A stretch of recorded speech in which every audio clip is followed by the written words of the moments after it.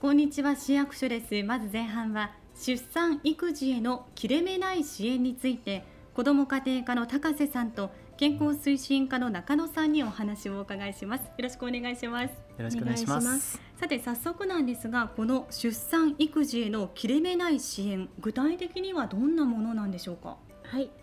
切れ目ない支援として保健センターでは妊娠届を出していただいた時に個別相談を行って出産後は保健師による赤ちゃん訪問をしています、はい、今日は特に産後ママサポートチケットについて紹介します。お願いします、はい。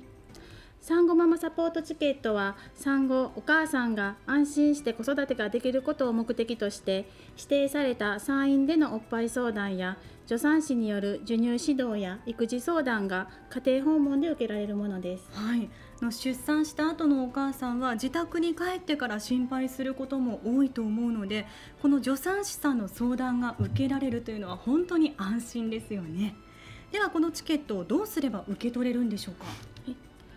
チケットは出生届を出していただいたら1週間以内にご自宅に郵送させていただきます、はい、もしお母さんが里帰りをされている場合は事前に連絡をいただければ里帰り先に郵送もさせていただきます。なるほど。郵送で届くとそれはすごく便利ですよね、はい、ではこのチケットどうやって使うんですか？はい。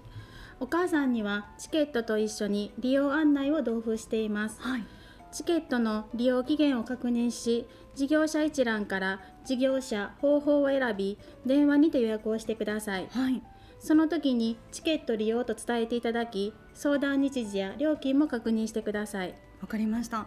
この一覧は来ていただける助産師さんの写真やコメントも載っていてすごくわかりやすいですよね。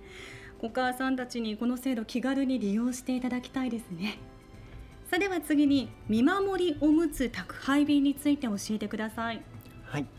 この事業は満1歳未満の乳児を養育しているご家庭を対象に月額1500円相当のおむつなどを宅配し経済的負担の軽減と宅配員が直接お母さんにお会いし子育ての悩みや困りごとなどをお聞きして育児不安の解消に取り組むものです。なるほど。満1歳未満の乳児ということは子宮の開始は出生した時からなんでしょうか？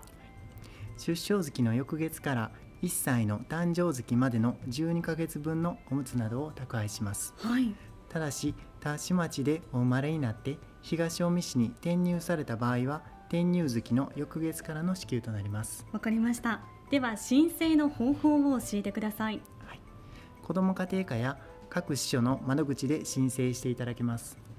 出生届や転入届を出された際に窓口で申請のご案内をさせていただきます、はい、この手続きやおむつに費用はかかるんでしょうか？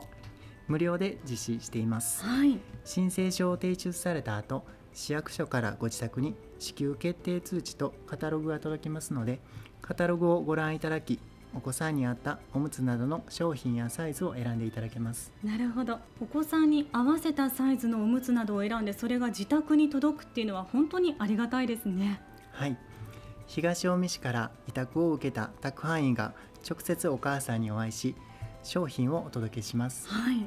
宅配員は子育て経験のある女性スタッフですので子育てに関することがあればお気軽にご相談ください。なるほど。こうおむつを運んでもらえるだけではなくてそういった声かけ見守りがあると慣れない育児で悩んだ時にも大変心強いですね、はい、毎月直接お母さんにお会いすることによって育児のちょっとした困りごとや心配事をお聞きし子育て支援へつなぐきっかけづくりになればと思います。はい、こう小さなことでも相談していただいて子育てへの不安をなくしていただきたいですね。こんにちは。市役所です。前半は出産育児の切れ目ない支援について中野さん高瀬さんにお話をお伺いしました。ありがとうございました。ありがとうございました